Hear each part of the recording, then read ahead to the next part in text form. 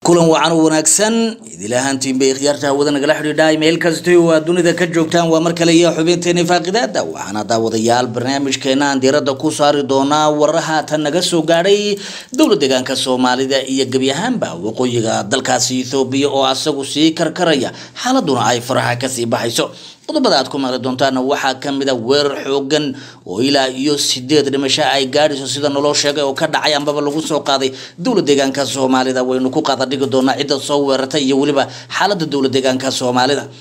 Oromada oo soo bandhigtay qorshe halis ku ah gebi ahaanba ambasiiniyiinta kuwaasi oo haatan ay aada uga fakarayaan abasiniintu wixii ay ka samayn lahaayeen. Tireega oo soo bandhigay boqolaal kun oo dagaalyahanadooda iyagoo sheegay inay hubka dhigisna ku sameeyeen sidoo kalena ay gorgortanayna ka gelaynin xuquuqdooda. Waa siday hadalka u dhigeen dowladda eritrea ayaa la tilmaamayaa inay weli fadqalalihii ka wada waqooyiga dalkaasi ethoobiya oo ay ku kala dirayso gebi ahaanba dalkaasi ethoobiya xaalada siyaasadeed ee dalkaasi ethoobiya waynu ku qada dhigi doonaa dhanka kale waxaan daawadayaal sidoo kale barnaamijkeena aad kaga bogan doontaan xaaladihii ugu dambeeyay dalka soomaaliya. Inkastoo dadka siyaasiyiinta ee mucaaradka iyo weliba qaar kaloo kamida amaan idhaahday wariyaasha madaxa banaan ee ka howlgala magaalada muqdisho ayaa tibaaxaya in muqdisho ay ka socoto boob xoogan oo ay sameynayaan waxaha kala duwan ee dowladda dalkaasi soomaaliya.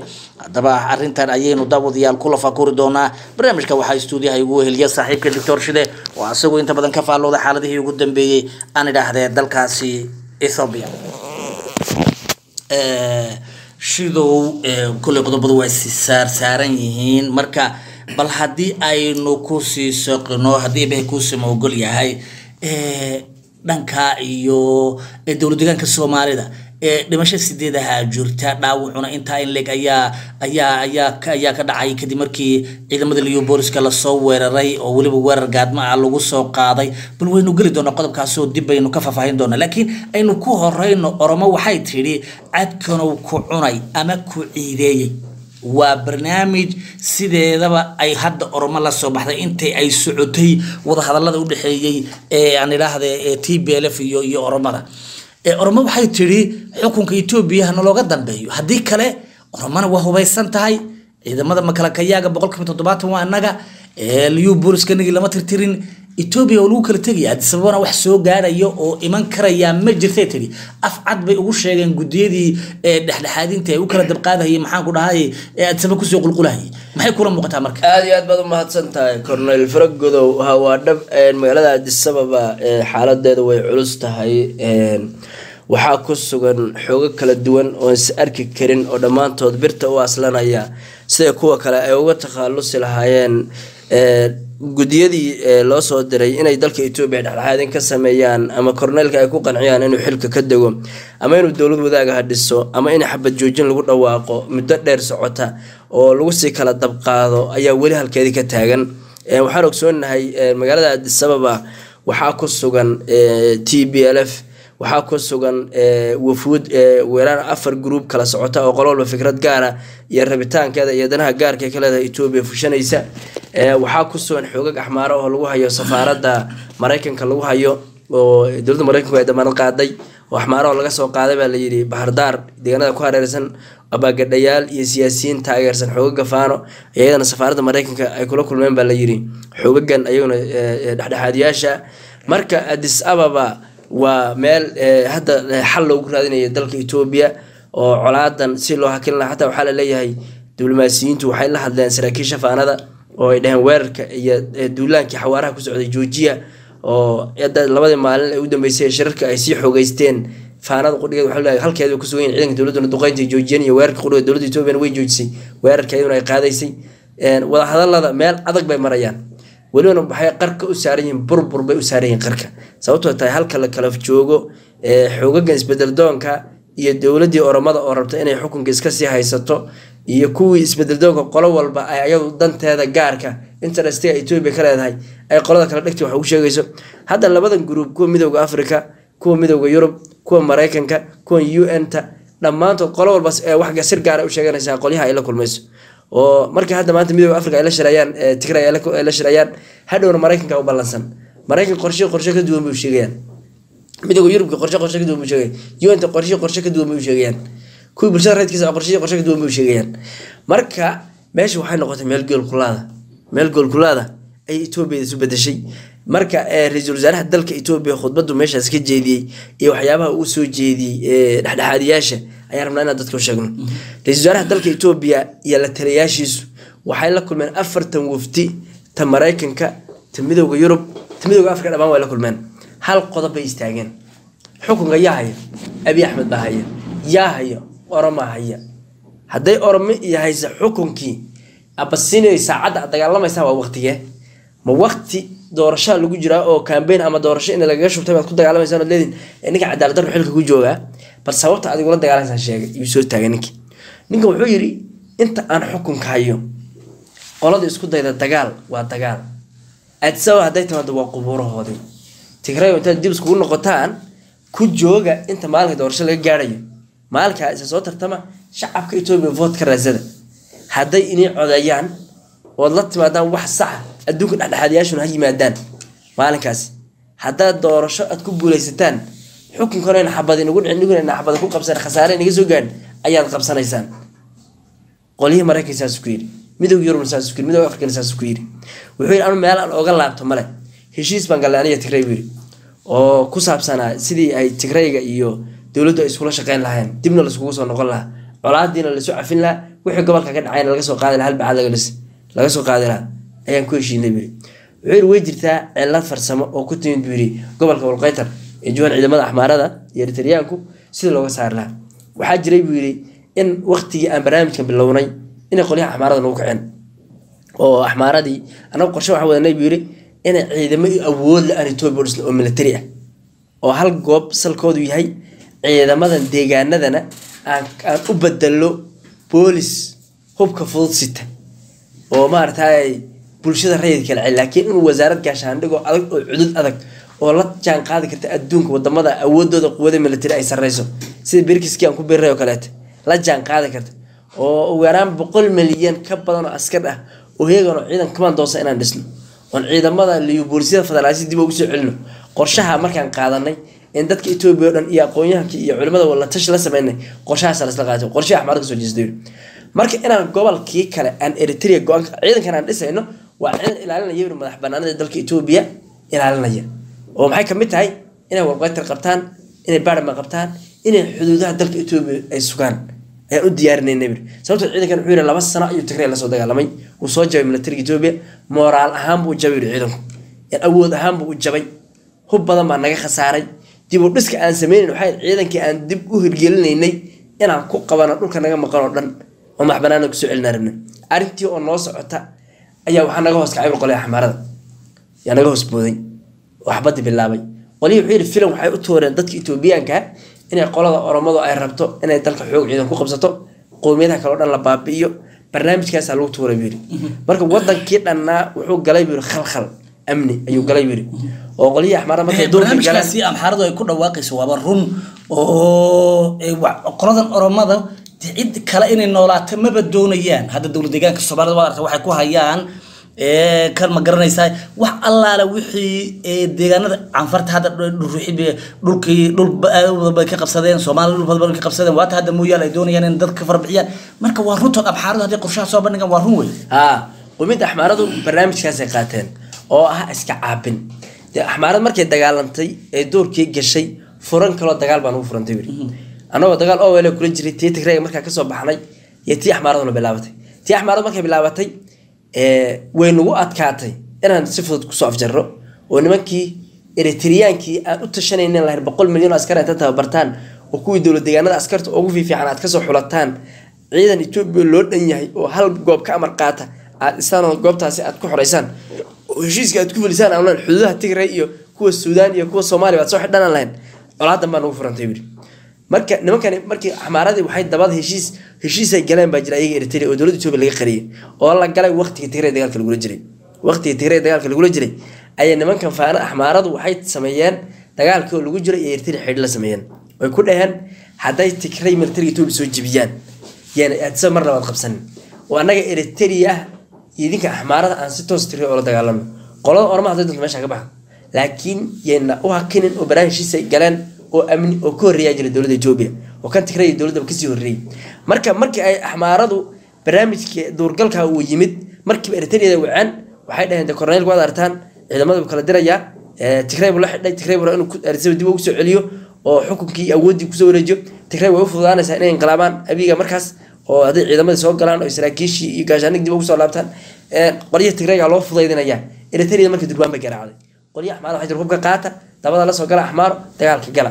Marka waxay dhaheen waqti aaban wolqaytar ku tagno annaga fursadaana lama masiininba ee tigraygu orodkan iyo qaqabtan iyo degdeganay wadaan ha joojiyaan barnaamijkii korneelkaa socda barnaamijka korneelka intuu ka hirgalayo halkiinaa jooga. Ee qolada axmaaradana si wada jira aan oola dagaalano arrintaas sulug bay ka muujiyeen tigrayga waxay soo bandhigeen annaga waxba nagama gelin. Ciidan eritrea guda jooga iyo la dagaalamaya annaga waxaa shaqadanada waxaasi shaqadanada maaha annaga barnaamijka anaga wuxuu ahaa inuu dibidejin dadki loo sameeyo dadkii qaxay qaxootiga suudaan qaxootiga kuha la soo celiyo in dhulkii dibdhus laga sameeyo in ciidamadanadii militariga lagu daro in ciidamadanadi mushaaraadkoodii xuquuqdooda la siiyo in maaragtay gobolka nagi la soo celiyo. Annagu ciidamadii hubki waan ka dhignay bay leeyihiin tigray ciidanka anaga hubki waan ka dhignay. Hubkiina waan soo wareejinay wakaad maqlaati harku cad la wareejinay inkastoo dee daahirno intuu qarsoon ay ka badnayd oo haddaba ay ku hanjabayeen. Waxa aan haysanaa ka awood badanka dowladda etoobiya ayagu afkooda isku fashiliyeen.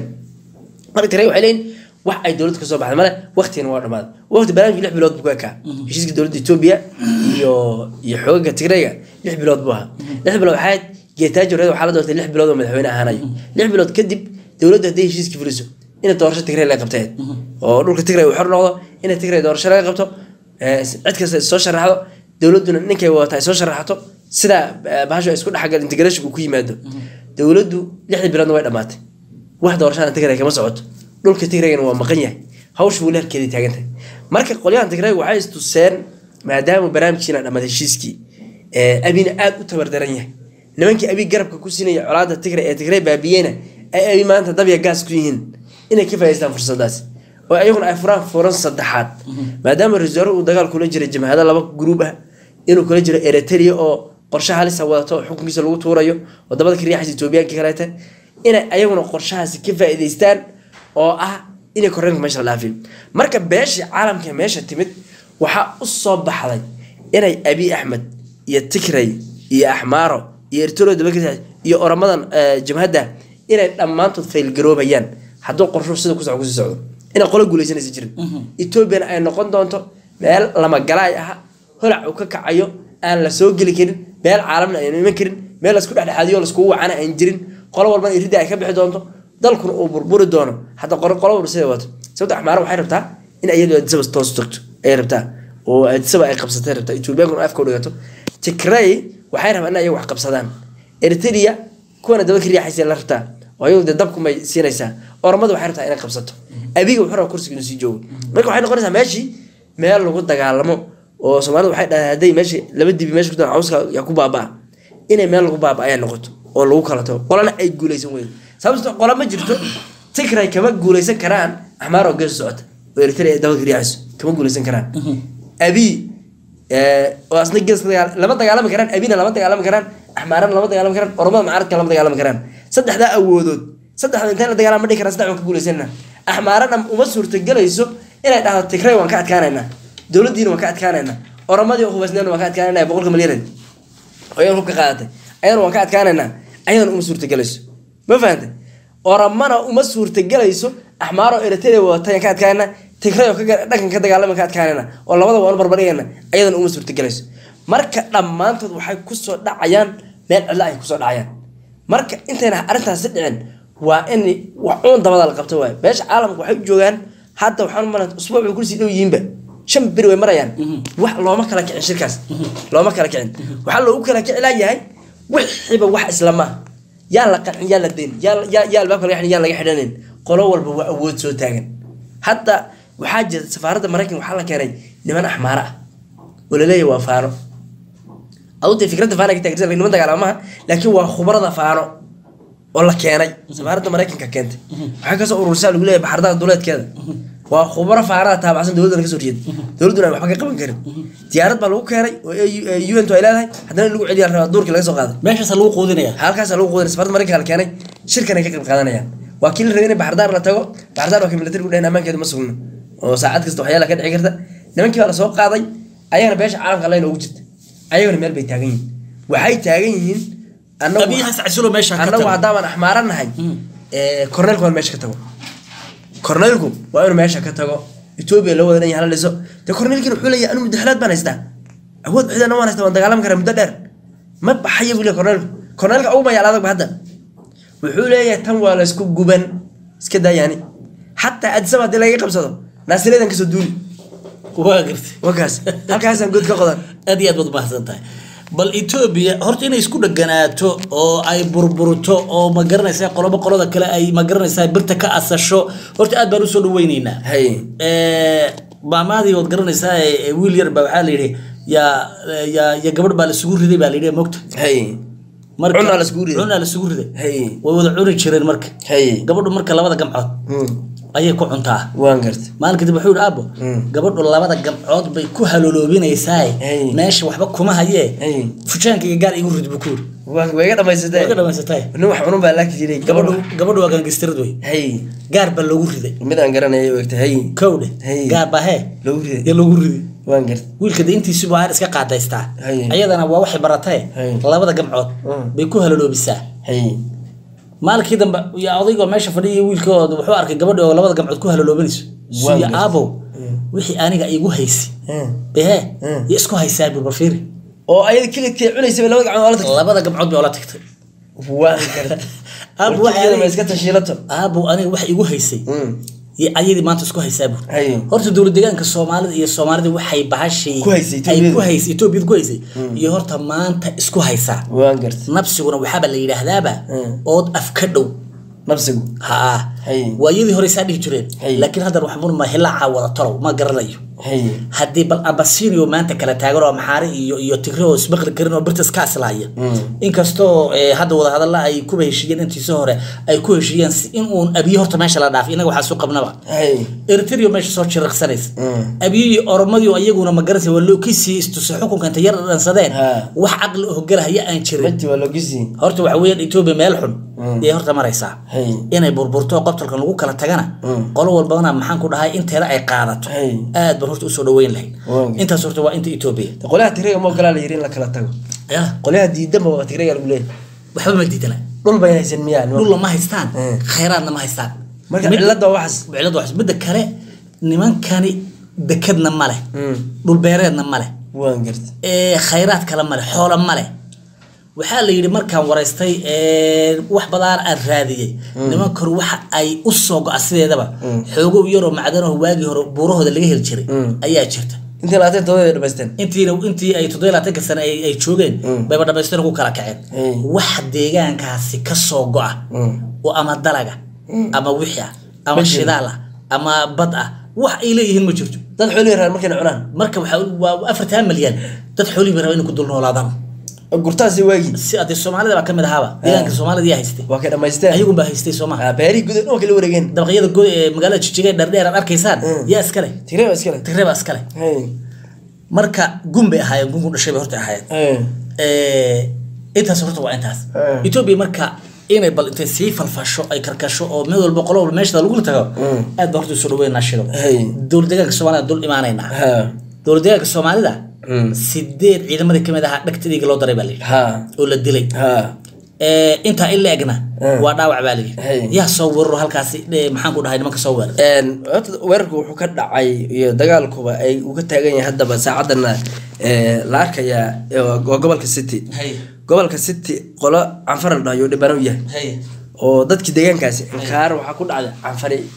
Canfar baa lagu soo inkaaray.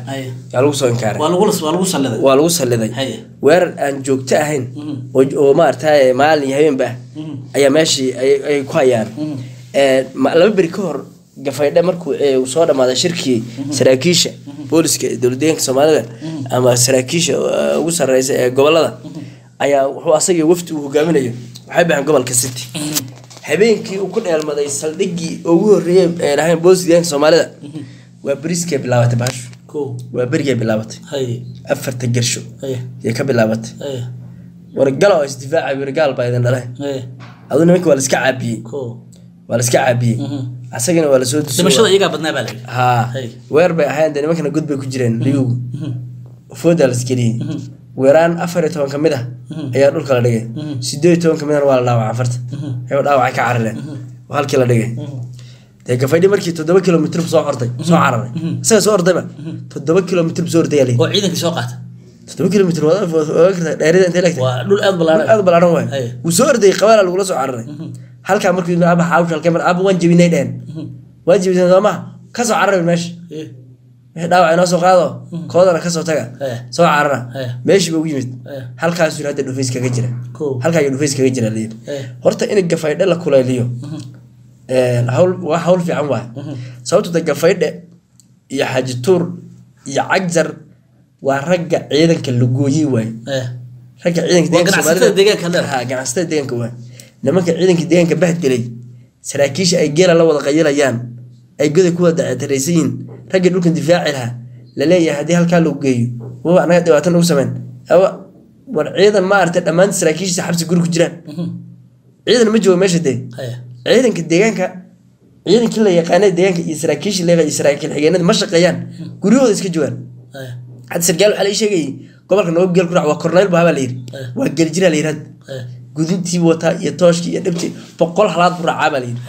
Otoga ereed ka waraabiyaa? Xidhaalo ka qaata mise waa sidaas kale maya show ma garanay ma aabihii baa le ma adeeradii baa le boqol halaad buu wadaa baa la yidhi. Hay waa familkaas kale haa. Hay ninkaa marna korneyl wuxuu ahaan jiray regimentiga wuxuu haysan jiray gobolka doollo. Mar waxay jiran jiraa la yidhi gobolka eh, wardheer eh, maxaan ka wadaa baasha afdheer ila liyon ba haysan jiraa la yidhi.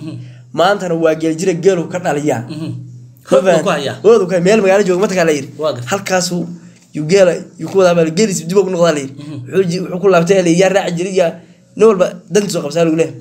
inta goday gaajada ku laynaysa ee markaas hortaba ruuxa garanayaanba dhihi baa walow ee, baakasigaada iyo eegad mijin qaada lama tirin karo. Tuulooyinkii degmooyinka haddaad tagto dhammaantood way iska fafadhiyaan dhammaantood way iska fafadhiyaan raggii saraakiisha ee ciidankan hayn jiray hal sargaal oo hadda xabsi guri ah ayaa ka joogaa la yidhi waa ninkii ah waa ciidamadii dee waqtiga cabdilis joogi jiray saraakiisha iyo saraakiil hadda waad aragtay ciidanka liyu booliska gafaydha soo ma xukumo. Gafaydha cabdili maxaa murug tegay xataa korneyl mayn shaaliqu ah kan kuliyadda iyo isagii ay isla haystaan. Kii kan maxamed nuur la labadood maxay ahaayeen? Een, kanna wuxuu labadaba ayaan shaaliqayaal baahan. Sakariye wuxuu shaaliqihii lagahiduha kana asna shaaliqa wuxuu ahaa meelaha iyo burqub joogi jiray meesha shaaliqayaasha bes ay ka joogaan away saraakiilid ee ciidamadii noocyada kala duwan away janaraaladii korneyladii maxaa ragga qorsho away. haddaan dib u soo noqono maxaa qorsho hadda nimankii laga qabanaya? Wax qorsho laga qabanay male waa in looga soo baxo dhulka. Sababta wax difaaca lama hayo. Ciidan wax difaacana lama hayo. Wax dowladda wax difaacayso dhaqaale ku bixinaysa male maamulka mustafa cagjarra maxaan cunaa mooyaan maxaan bixinaa ma yaqaanaan. Gacantuu ilaahay ka habaaran. Wax ma bixiyaan. Ciidanka waa la maalgashadaan. Xaggaasi aad bay ciidanka mustafa ee ee ugu liitaan. waa garan. hadda wuxuu u qeyla dhaantay baan maqlayay madaxtooyada soo wacay. Wuxuu yidhi waa in ciidamada la soo kordhiyo. Waxaa la "War ciidan la qaada lama hayee etoobiyan hadda liu boors qulqulaya way xanaaqeen. Boors waan kala diray boors dhar bulbuluuga qaba wada sakaraadan meelaha ku ogeyne. Maxaa sameynaa? Marka kuwa ay dowladdu ogtahay jira. Ciidan jooga xuduudka soomaaliya oo ay dowladda si ku meel gaara tulaal hawsu shaqeeyaan. Oo Yaa jira. kuwii yidhi baa la yidhaha la soo daabulo. Hey. Dee kuwii haddaan soo daabulno soolamaarka cafar dacway geen Eh. waxay soo weeraray. Eh, qabaaladii la sawir qulqulayay. Marka hawshu waxay taaganta keliya in laga soo baxo. Howlkaa shaqo kale ma jirto. Garanay. Eh, maxaa ugu dambeeyada dowladdii madaxweynaha jamhuuriyadda federaalka soomaaliya hogaaminaya xasan sheekh maxamuud iyo xaggaas xasan dowladdu way fashilantay. Dowladda soomaaliya way ku daysay. Hay. Hadda waxaa xogta aan ku hayaa inuu xasan ka laaban raba dastuurka wax kabedelkii inuu yiri waan fayl garoobay. Dowladda iyo tallaabo way rogi leedahay siyaasaddii waa laga yaqaanaa dowladnimo waxba kama garanayay dastuurkiina waan ka laaban. Isku laabto. Farmaajo walaalow qaylada iga daa. Xildhibaanadii soomaaliya waxay ku dhawaaqeen badbaado qaran. Waa kutla siyaasiya oo waxaan arkahayay Ah. leh waan ka madax banaanahay laakiin dee Ah. mucaaradka kule dabada ka riixaya ha waxay dhaheen dalka haddaan la badbaadinin systemkii dowladnimo meesha uu ka baxay. Maxaan cunaa oo basa muqdisho ku soo wareegsanaysa Hay, iyo maxaa fullaa? dowladdii waa la qaybsadayba habar giiri waxa qaybsaday iyo beeshii wacaysle haya abgaal wacaysle Hay. ee hoose ayaa qaybsaday. Qoladii habar giirta mahad salaad wax ka- ayaa ka mar qaataan. Ko mahad salaadna maxaan cunaa un waay. Asagaa boolisa asagaa nabad sugida asagaa jenaraala ma fahantay Hay. dowladdii kale ma shaqaynayso xasanna qoladiisii xaafadiisii isagii gabadhiisi intay xukumeen. Dowlad maarata fiiri.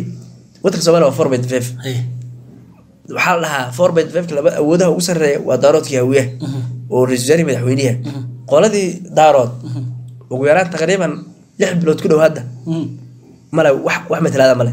Ee, w- wasiirka arrimaha dibadda. Male wasiirkii amnigana male labadii wasiirka wasiir arrimaha dibadda.